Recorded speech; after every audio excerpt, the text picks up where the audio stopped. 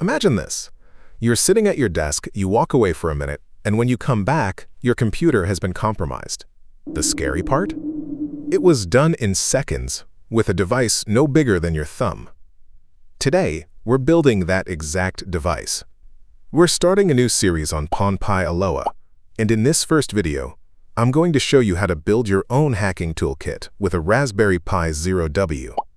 I'll walk you through the entire setup process, and then we'll perform two live demos that will show you exactly how this is done, including a fun prank you can pull on a friend to show them why they should never leave their computer unlocked. This is a journey into the world of physical hacking, and it's something every single person should understand. Let's go. Before we get started, a quick but important note. This video is for educational purposes only. The information I'm about to share is meant to help you understand how these tools work so you can better protect yourself and your systems. Please, use this knowledge ethically and responsibly. What is PwnPy Aloha? First, let's talk about what this thing actually is. PwnPy Aloha is a customized Kali Linux image. But it's not just a regular Linux OS. Its superpower is its ability to emulate USB devices. Think of it as a spy that can pretend to be a keyboard, a mouse, or even a network adapter. This allows it to perform something called a HID attack, which stands for Human Interface Device. It literally fools a computer into thinking a human is typing commands and moving a mouse so it can run scripts and payloads without ever being detected as a malicious device. It's the ultimate Swiss Army knife for pen testing, allowing for everything from Wi-Fi attacks to keyboard injection. And the best part? It's powered by a Raspberry Pi Zero W, which costs next to nothing. Oh my god! Alright, let's get PwnPy Aloha installed on your Raspberry Pi Zero W. This is a straightforward process with two main steps. First, downloading the custom disk image, and second, flashing it onto your micro SD card. Step 1. Download the custom image. Here's how to grab the image head to the community-run GitHub repository for PwnPy Aloha payloads. https colon slash slash github.com slash nightrang 3r slash p4 wnp1 dash a dot o dot a dot dash payloads. This GitHub repository is one of the most popular community collections of payloads for PwnPy Aloha. Think of payloads as pre-made scripts that automate tasks everything from network reconnaissance to advanced USB attacks. This repository essentially gives you an entire arsenal for your toolkit. When you get to that page, scroll down to the README file. You'll find download links for the pre-built Kali Linux image, usually hosted on Google Drive or Mega. You can pick whichever you prefer. Quick note, there are two versions available, light and full. The full version is what I recommend for most people. It's ready to go with all the scripts pre-installed and configured. Let's grab the full version. Step 2. Flash the image to a micro SD card. Once the image file is downloaded, it's time to flash it onto a micro SD card. I recommend using a card that's at least 16 gigabytes. The best tool for the job is the official Raspberry Pi Imager. It's free super reliable, and works on Windows, Mac, and Linux. Once you open the imager, the process is incredibly simple.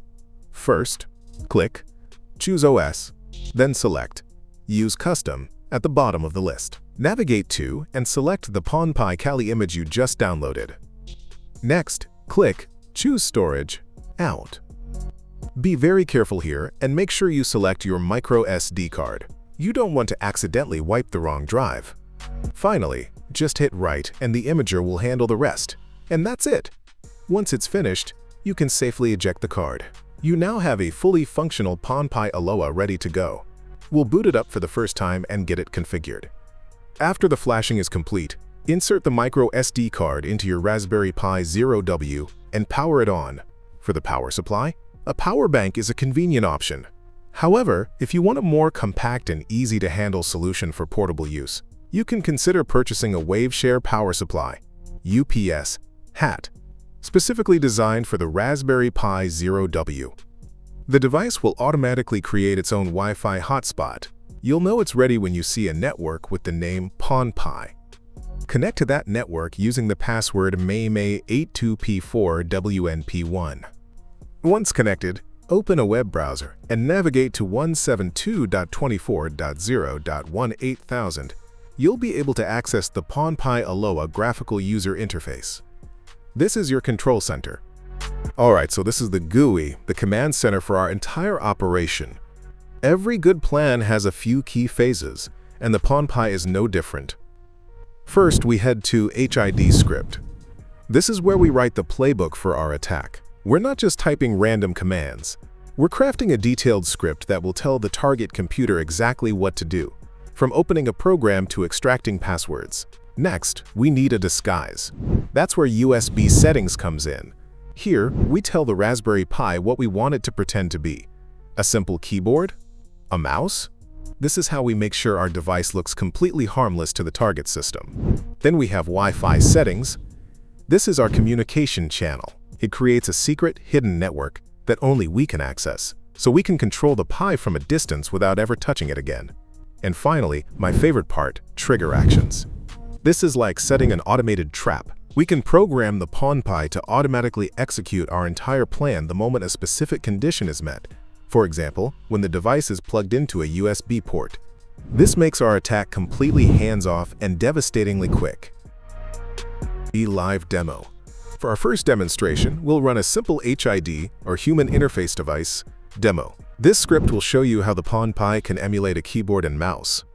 It's a great way to see if everything is working correctly and understand the basic concepts of a physical access attack. First, let's look at the script itself. It's written in Ducky script, a simple language designed for payloads that emulate a human typing on a keyboard. It starts with layout, US, to specify a US keyboard layout and typing speed, 100-150, to set a realistic, human-like typing pace. We also have the wait repeat, NUM, command. This is a very clever command that waits for the numlock LED on the target computer to blink. It's a great way to ensure the P4WNP1 is ready to go, but for our demo purposes, we've decided not to use it, as it doesn't work on some operating systems like macOS. The core of the script then presses the Windows key and, gray toe, to open the Run dialog, types Notepad, and hits Enter. From there, it types a few lines of text and demonstrates its dual functionality by moving the mouse. Finally, to highlight its true power, we use typing speed 00 0 to type a few lines of text instantly. This contrast between human-like and instantaneous typing shows how quickly these devices can automate tasks. The genius of the PawnPy is its auto-run feature. We don't want to manually press a button. We want the attack to happen the moment the device is plugged in. To do that, we need to set up a few things in the GUI. This process involves creating and saving templates for each of the PawnPy's key functions, and then combining them into a single master template that will execute everything at startup. Step 1. Write and save your HID script. First, you need to create the script that will perform the keyboard and mouse actions. In the PawnPy Web GUI, navigate to the HID script module. Write or paste your HID script code here. Click the Store button and save your script with a memorable name like my underscore HID underscore script. Step 2. Save your USB settings template. This template tells the PawnPy to act as a human interface device, HID, like a keyboard and mouse. Go to the USB settings module. Ensure that keyboard and mouse are enabled, and any other settings you want to include, like RNDIS or mass storage, are configured. Click Store and save this template as HID underscore USB underscore template. Step 3. Save your Wi-Fi settings template. This step is crucial for allowing you to access the GUI remotely via your phone, even with the auto run enabled. Go to the Wi-Fi settings module. Make sure the Wi-Fi mode is set to Access Point AP. You can change the network name and password here for your demo. Click Store and save this template something as Wi-Fi underscore AP underscore template. Step 4. Create and save your Trigger Actions template. This template links the act of plugging in the device to the execution of your script. Go to the Trigger Actions module Click Add 1 to create a new trigger. Set the trigger to USB gadget connected to host. Set the action to Start a HITI script. In the script name field, select the script you created in step 1, my underscore HID underscore script. Click Update to confirm the trigger, then click Store and save it as a new template. Something like auto underscore HID underscore trigger. Step 5. Create a master template. This template combines all of the previous settings into one file that the P4WNP1 can load at startup. Go to the Generic Settings module. Under Master Template Editor, select the templates you just saved from the drop-down menus for each category. Under Trigger Actions Template, select Auto underscore HID underscore Trigger. Under USB Template, select HID underscore USB underscore Template under Wi-Fi Template. Select Wi-Fi underscore AP underscore template. Click Store and save this final master template as my underscore. First underscore auto underscore run. In the Generic Settings module, look for the Startup Settings section. Change the Startup Master template to the one you just created my underscore first. Underscore auto underscore run. Next click on the Deploy button to apply all the updated setting. Now, the device is armed and ready to go! Now, let's see it in action. Here's the PwnPi Aloha device. I'm using a separate power bank to power the device first. This is a critical step because it allows the device to boot up before I plug it into the target computer. If you skip this, the device will take time to boot, increasing the chance of being detected. Once it's ready, I'll connect the second cable into the Pi's micro USB port and then into the target machine's USB port. This will instantly run the auto run script. For a more compact and stealthy setup, you can use a Waveshare UPS hat instead of a power bank and a zero-key USB adapter instead of a data cable. Watch closely. I am going to plug the PwnPi Aloha into the target system.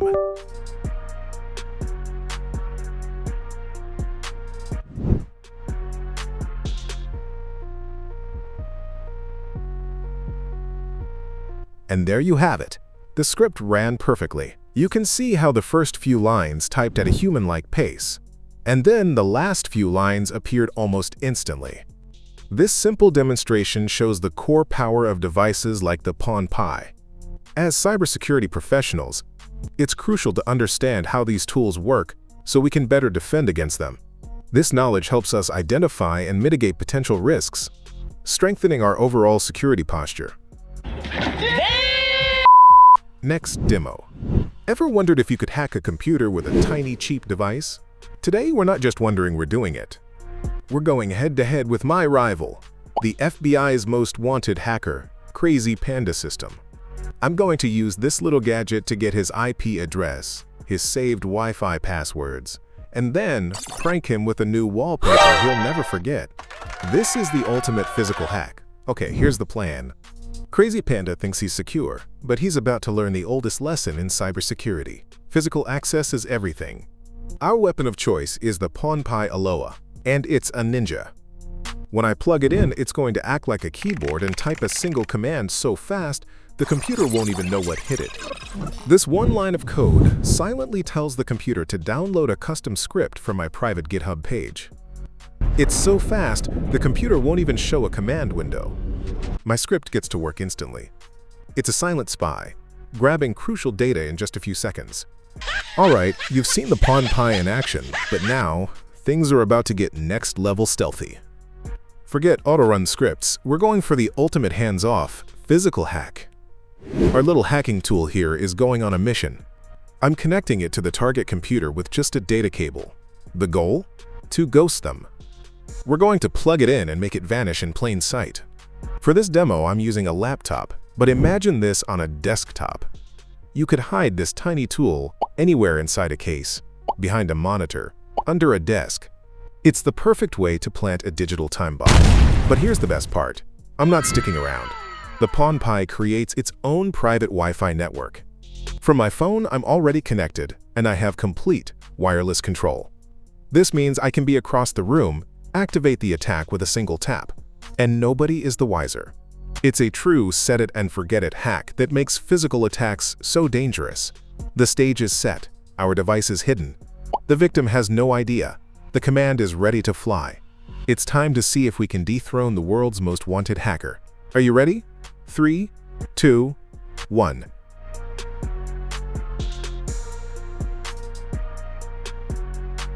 The script's final trick, crank the volume and make the PC speak. We found you crazy panda. The FBI most wanted hacker. Your title has been revoked. The new master is here.